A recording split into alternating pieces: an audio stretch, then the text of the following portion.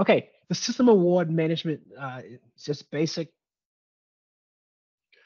It's what is SAM? If you don't know, who needs it to register? How do you register? How can you locate opportunities? Other features of SAM, recent SAM updates, and how to get assistance with SAM issues. So all those questions, those those bullets right there are important, and this is what we're going to cover. Uh, I will go through some of kind of fast. So if if you don't try to take notes, try and capture ideas, and then we can discuss them at the end because I wanted to leave you enough time to ask any questions about this presentation. Okay, so this is what we call the landing page. What is SAM? And you, this is what's going to pop up. You know, it says get started, renew your entity. It's already there. If you want to do this for the first time, get started. If you already have one and you need to renew it, you hit that button. So SAM.gov is the official website of the US government. There is no cost to use SAM.gov. Let me repeat that. There is no cost to use SAM.gov. People will contact you. Once you register yourself, you will start getting contact information from what I said, those consulting companies who help people work through this process. There are companies out there that do it for a fee. But all this information here is free. It's just whether or not you have the time to do it. And it's a business decision that you should make on whether or not you want to spend the money for someone else to do it. Personally, Jerry Smith, I'll spend the money because I do not like going to these websites and, and just blah, blah, blah. And time is money. So you could be making money, but as long as you're making more money than you're spending, I would say, hey, then it's a, it's a no brainer. Pay somebody to do it, hold them accountable, and, and you should get what you're looking for. So it allows you to register to do business with the US government. It updates, renews, and checks the status of your entity registration. And it searches for entity registration exclusion records. It's a one-stop resource for multiple systems, systems uh, listing, wage determination, contract opportunities, contract data reports. All these things can be found in SAM.gov. You can view and submit a BioPreferred or service contract reports. Don't even ask me what that is, but I take it that people who are in that space know. Access publicly available award data via data extracts and system accounts. And that's the information that we all have to post in SAM.gov. Every agency posts their opportunity stuff about uh, data about their opportunities and awards. Who needs to register? If you're a business and you want to apply for federal awards as a prime awardee, you have to register.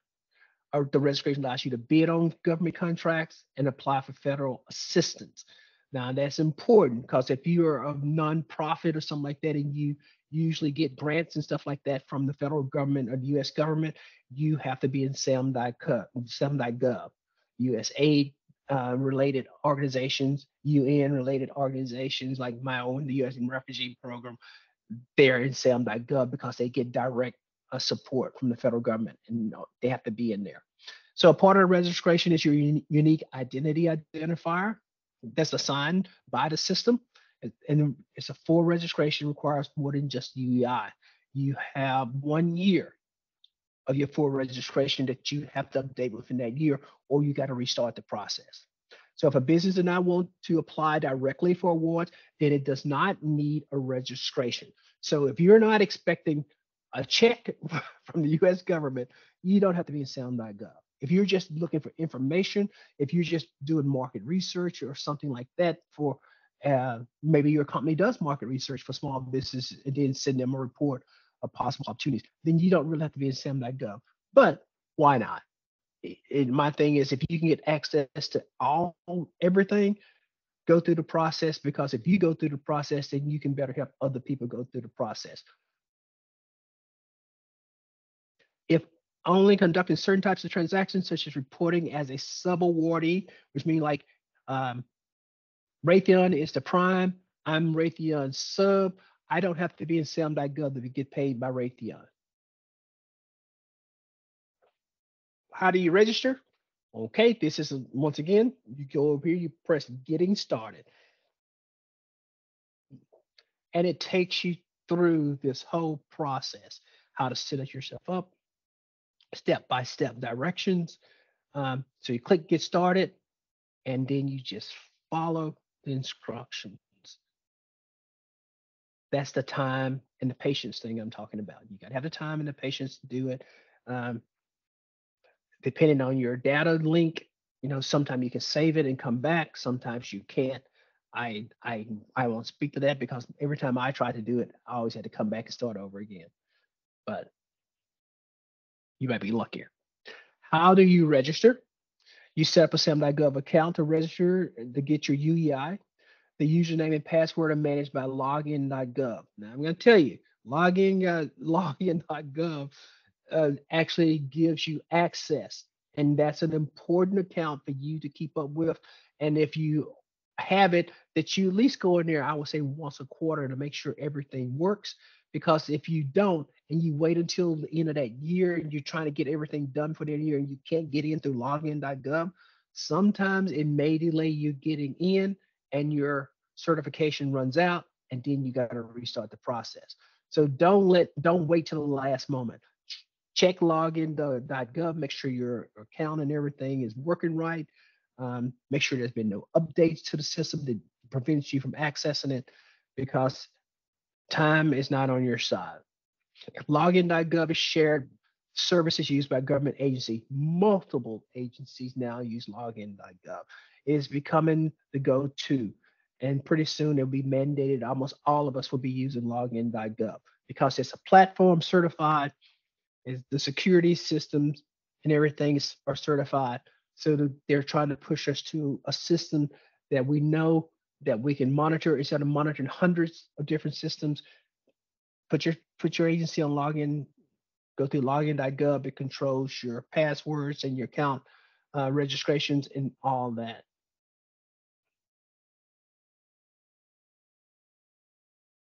How do you register? Well, you have to complete all these things in order to. You got to have the UEI. You got to have your core data about your your company. Assertions. There's a page called assertions that you have to fill out. Reps and certs you have to fill out. Architect and engineering responses for those who are in that space. Defense Federal Acquisition Supplements questionnaire, if that's the space you're going to work in. Uh, points of contact within your organization. You have to have those. And then your SBA supplemental page has to do with for small business only. Because you are an international company, uh, you wouldn't have to do that because you're considered as a large business automatically because your company's not. Now, there are Canadian companies that have, uh, what are they? I think they're called direct reporting like uh, divisions that have established addresses and everything in the United States, but they're they're owned by companies, uh, maybe in, in in Canada, Europe. Those companies may fall under this and may be certified as small. If you are a independent operating division of a company, a lot of times you can say, okay, or if a Canadian company bought an American company within the United States, a lot of time the parent company does not do what we call novation of that company so that the US government recognizes the parent company. We continue to do business with that that other company, even though they are uh, owned or an independent, financially independent subsidiary of a, a major company. So there's that possibility. Sometimes your company could be certified as a small business within the United States if you follow those those things. How do I register? Continues a unique identity identifier. So one of the big things that I'm, I'm I've seen is that the legal business name. You have to be careful with the legal business name because it has to be always the same on all the documents in which you present to prove that the company exists. So if doing business as usually don't work unless doing business as is on everything. So Jerry Smith doing business as Boomer Sooner Nation, it, unless all my documents show that, then they're going to question what is the legal business name of this company. So be careful. Uh, the physical address, post office box cannot be used. You got to have a physical address. I've had people try to use these uh, there's a box box express, a box etc. where mailbox ex, express where they actually give you an address and stuff. Um, sometimes that works, sometimes it doesn't make it through the system, but you have to have a physical address, the date of incorporation, uh, state of incorporation. If you're along our border, especially with with you, the, the Canadian border along Quebec, Vermont, and stuff, uh, for those who don't know, the date of incorporation of a lot of our cities and our towns in northern New England predate the states. So the date of incorporation sometimes doesn't match the state records because the, the the Secretary of State has a database of all companies that are registered in their states and townships and all that. If your company was established before the state of Maine existed and it was still a portion of the Massachusetts uh, conglomerate, then most likely your information about your company or your town exists in the Massachusetts State House of Records, not in Maine. The same thing with places like Vermont along there. So you may have the same issue along yours. Was the town established before uh, Nova Scotia or whatever, uh, Newfoundland or whatever, became a Providence?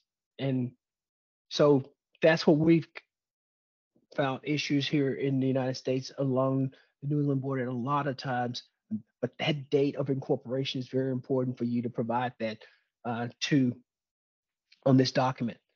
Um, the National Provider Identity NPI for non-U.S. entities only.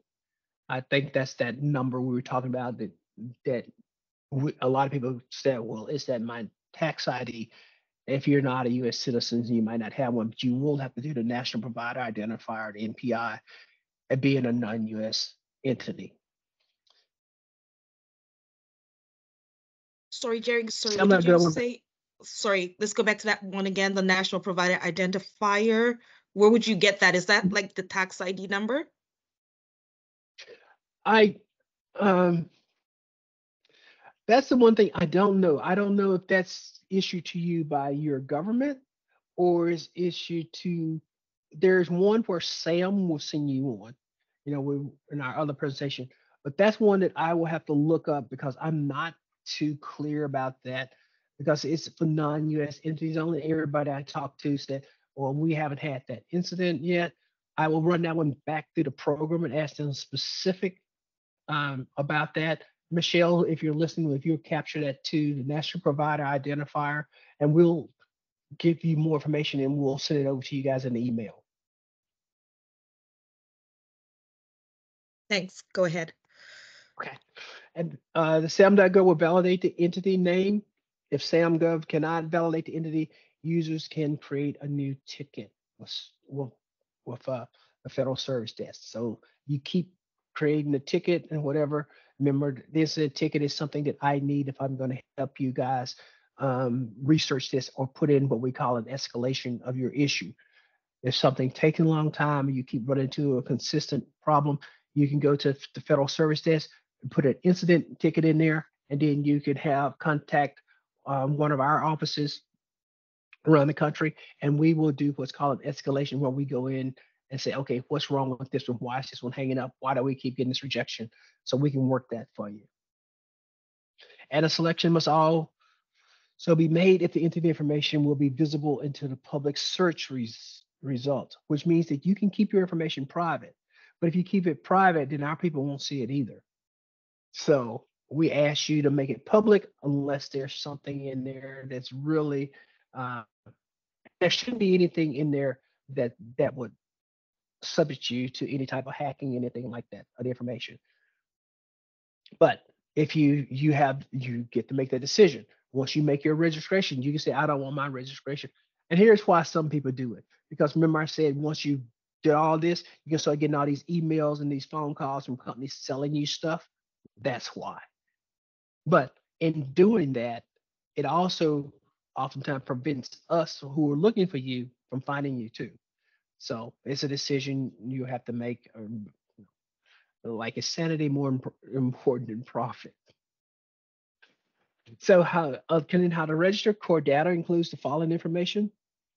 The business information inception dates, we talked about that.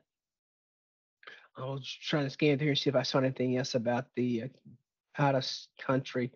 But all this, you got to have your cage code, uh, ownership details. It has to be owned and controlled by you. Per, whoever listed how you list your entity identifier as far as your legal name in there, all your documents show that that's who owns the company or whatever. All it has to, to point back to that name. So prede- predecessors details. If you held, if if you bought a company and held the contract, you got to put that detail in there. If you buy a company, uh, you want to put that information in there. General information, county, state, incorporation, entity profit structure. It's self-explanatory. Financial information, self-explanatory. They want to know your credit history, uh, all that. Just fill those in. They're it's not complicated.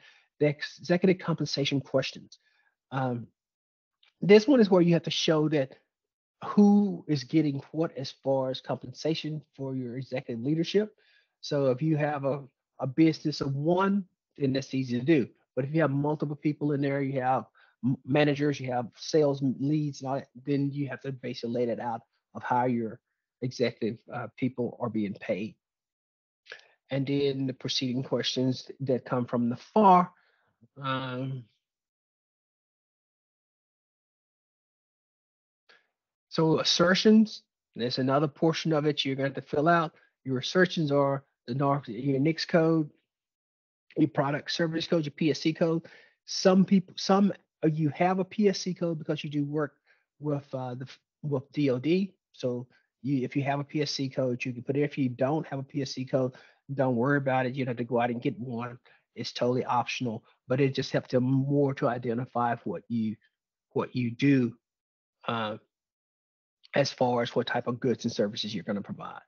The organization side, then your receipts and the number of employees, they're going to ask you for it. I say put it in there, even though because you might be an international company, you're going to default to other than small anyway, but they still going to ask you for that information.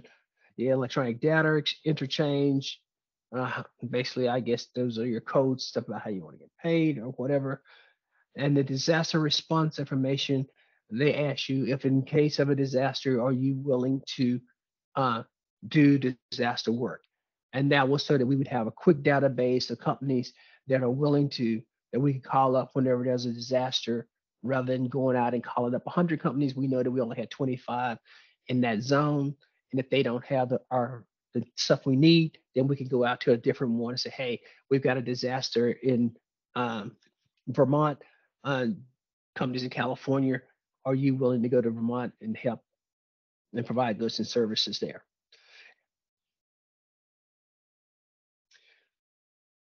Reps and certs, your name and title, other facilities used for performance, following EPA guidelines, uh, whether you've been debarred or suspended or deemed ineligible for any federal agencies.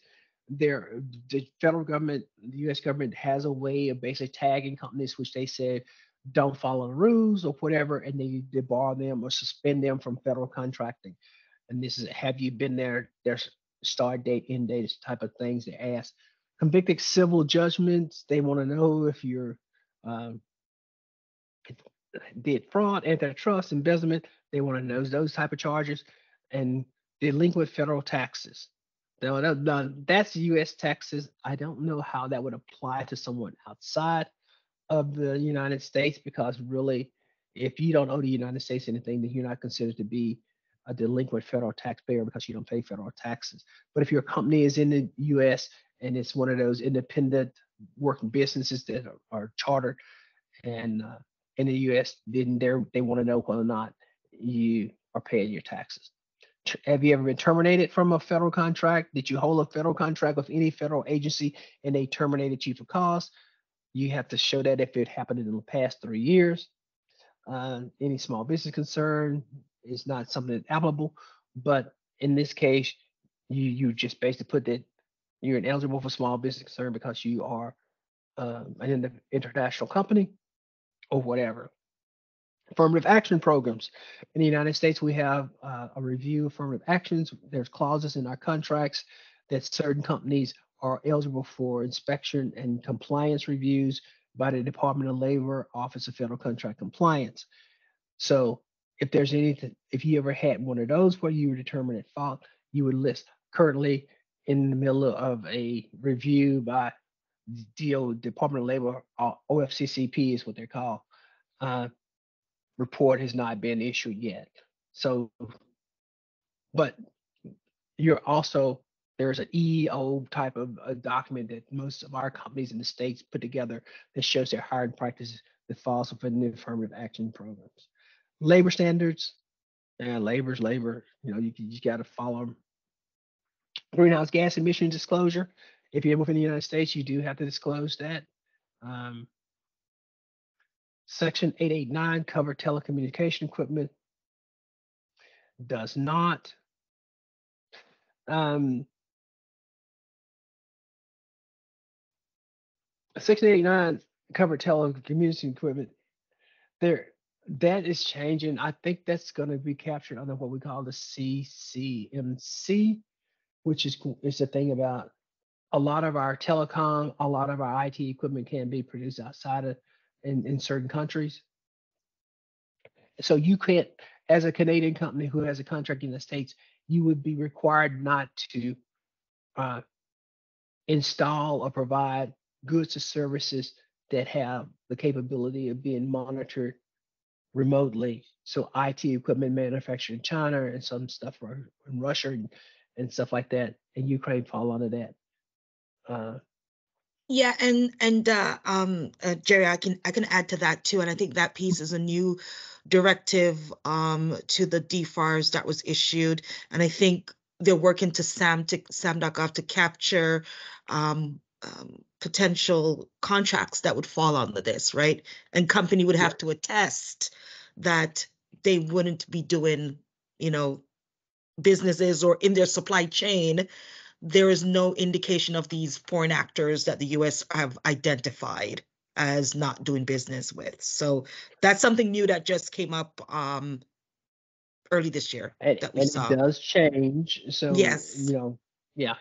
I would say you always go to your consultants and make sure that you got this right because uh, I tell you, I came out of cryptographic and I'm and this has changed so much over the last couple years because things that you wouldn't think are now.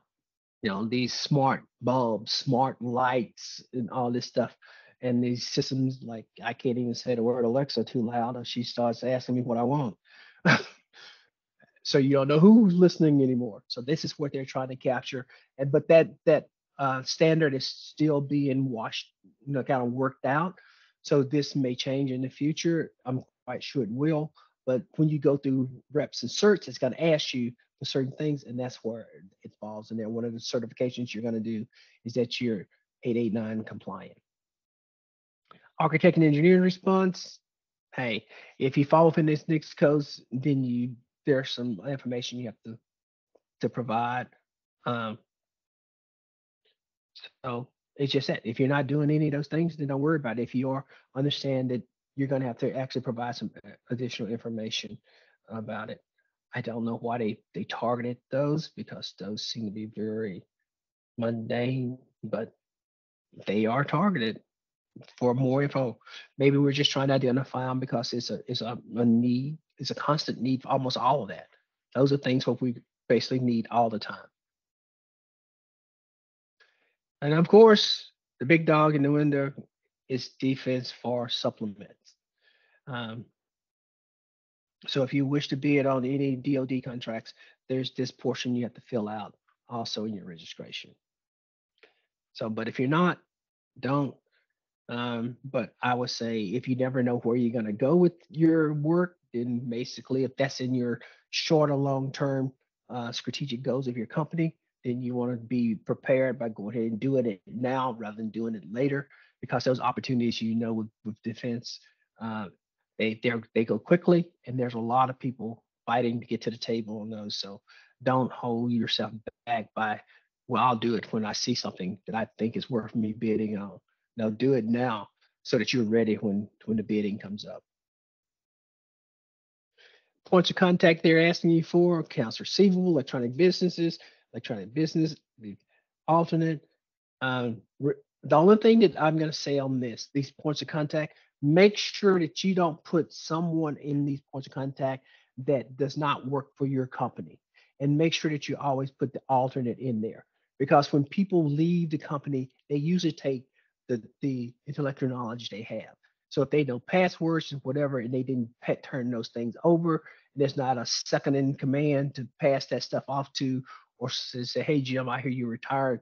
Uh, what about these things? Then a lot of times company gets caught up in the fact that all the the access, and we're very into, you know, passwords and stuff. and People can't access their, their stuff anymore. So you got to start all over again. And guess what? When you try and start all over, the system is going to flag that you already have this in the system. So it by the time you get it all cleared up, your old stuff would have expired and you have to start all over again anyway. So be very careful when you're con- and if you decide to contract for someone to manage this portion for you, make sure that they are not putting themselves down there as your point of contacts on any of these. Because if they're the point of contact and goes in the system, if Jerry Smith uh, Consulting Incorporated is your point of contact on all these, then guess what? If you don't pay Jerry Smith, Jerry Smith don't give you access to your your stuff, and you need your information. And we've actually seen that happen where consultants and the company got into a contest about how much they were supposed to be paid and how they were supposed to be paid. And so the consultant just said, well, okay, we're gonna we're not gonna turn over the passwords and access to the system. Then they have the authority because you made them the point of contact to go in and actually change those passwords. So you might have thought you had the password because they were the primaries on everything. They went in there and changed it. So make sure that the company and the people that you put in there are people you trust. And um, the startup I used to work for, we when we got um, bought out, going out of uh, 9/11, a lot of the the senior people, were getting their notices the day they showed up for work, and then they would lock them out of their computers, and they couldn't get in. But the thing of it was that a lot of the stuff that they had in their head, the, the passwords and the codes for other things, they took with them. And because they left on a sour note, a lot of times we had to reestablish all that work and work, all that stuff in the background to uh, get access to it. So be very careful with your points of contact. And the SBA supplement page does not always apply to you guys because you're not a small business, but that's what that one is. Um, for those companies who may be a small business, you're going to fill that portion out, portion of registration.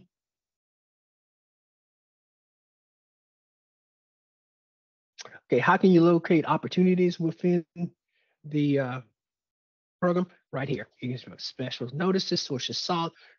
All these are pre-award, and then you have the post-award notices, which is justification, seller surplus property. All this stuff is in there, and you can go in there and you can do a search and find it. SAM.gov account is required for government users who post notices and update notices. They have to have a SAM.gov. If you're a non-user, um, if you follow contract opportunities, you save searches, you got to have SAM.gov. If you only want to view opportunities, a SAM.gov account is not needed. So how do you locate them? You just follow the, you just follow search. Under select the domain, you go in and say, okay, where you want to look at contracting opportunities, system listen. You select entity information as an example, and then you select entities. It's going to take you to, and then you go and you do a word search to drill down. So search for item in, in the search bar. Remember, search bars is the same throughout. Uh, if you have any questions about anything, that little help button up in the right hand corner, you can always hit it and then get help from there. Or you can call the, de- the help desk and then they can walk you through it.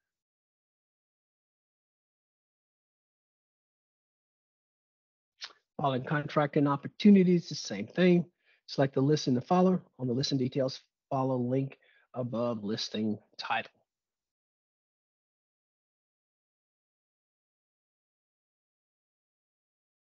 Of course, when you pull it up, this is how our GSA would look. It's going to have the agency um, follow the contracting opportunity. There's a list of vendors interested in competing for the opportunity of vendors interested.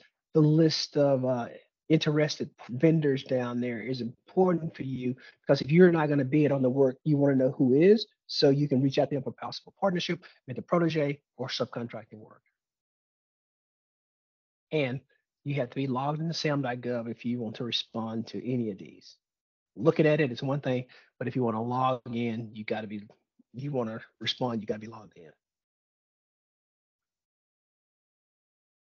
Other features, of assistant listing, saving searches, entity searches, exclusions. All this is within SAM.gov within the database, and it's on the, the tab data services.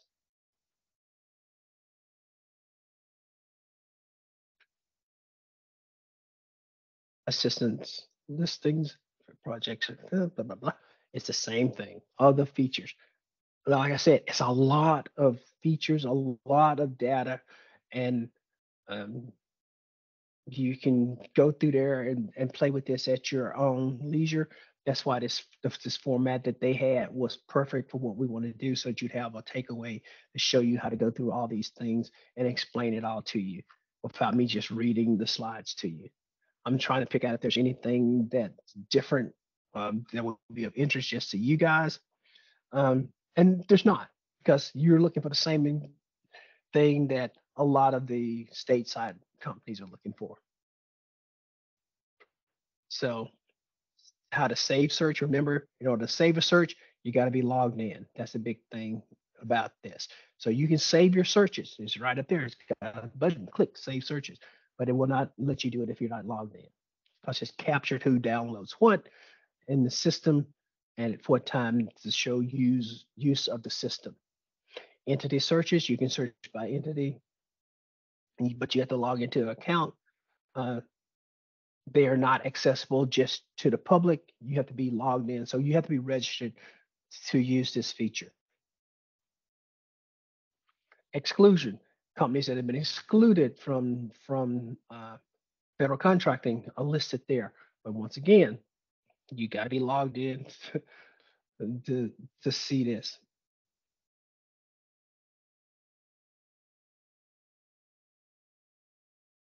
This is a list you don't want to be on. You don't want to find your company on there.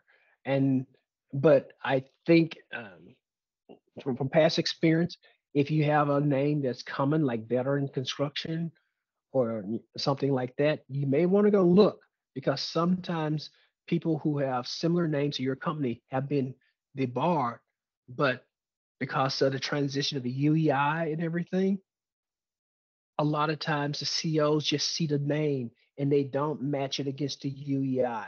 So if any, if you're ever told that your company's been debarred and you know they haven't, you ask them under what UEI did you find the debarment? Because that will tell you, oh, that was that veteran small, that veteran construction in Massachusetts, not the one in North Carolina. Reports and contract data. Lots of reports can be pulled out here, lots of information. Um, this is something that I highly recommend that unless you are a data geek, that you work with a consultant because I don't want you to burn up days and days looking at reports that mean nothing to you and are not going to help you get what you want to do. If you look for opportunities, this is not really where you're going to be at, but it exists out there. SAM.gov has a, a lot of reports and analysis you can pull. Wage determinations, you can go in there and figure out that uh, set of wages, fringes, benefits is maintained by the Department of Labor. It also has the labor, if you guys don't haven't heard it, Davis-Bacon Act, which actually is a federal standard of what certain jobs are paid. So that's what this page is for, for wage determination. So, and that helps you when you're putting together your solicitation, because if you have to use Davis-Bacon wages, you may be paying $10 an hour for a plumber, but now you got to pay $25 an hour. So Davis-Bacon is kind of like that basic wage, which the federal government looks for people to get paid to do certain products. Managing requests requesting rows, same thing. Um, get more info, info, info. Manage requesting rows, same thing. More info, info, info. I mean, it's it it's. I can see why the people in this program have this as a full-time job. It is a lot of data crunching and data analysis to get to this stuff. Uh, it is not something that the normal business is going to do, but it is something that a lot of times you have people who can help you uh, either for free by using the resources like CCC and others, but also you can go out and contract for someone to do it. Uh, Price Waterhouse does this type of work. If you if you're looking for someone who's going to charge you. Transition from DUNS to UEI, of course, that process is basically over with. It, it, it didn't go as well as we hoped, but we got there.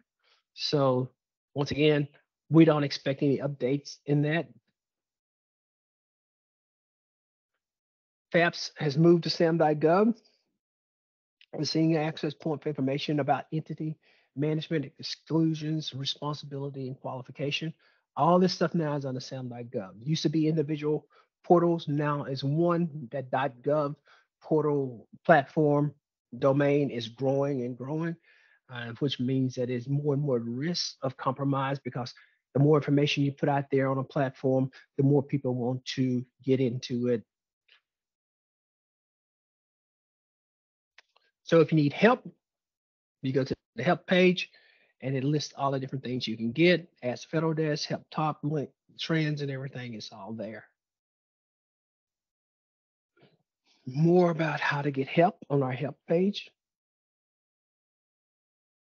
And that's it. I know I went through it fast, but you're going to get it. Look at it, pick it apart, write your questions down, submit your questions to CCC or directly to us, whichever one you're comfortable with and we will do everything we can to answer your questions. Uh, it's a good a source document for you for basics of it. It does not go deep into the, the weeds, and sometimes that's where you want to stay out of. Because when you get into some of these reports and stuff, you will burn up lots of man hours and come away just shaking your head. It's it's it's it's a data intensive platform. Uh, data, data, data. But what do you do with data? The best you can.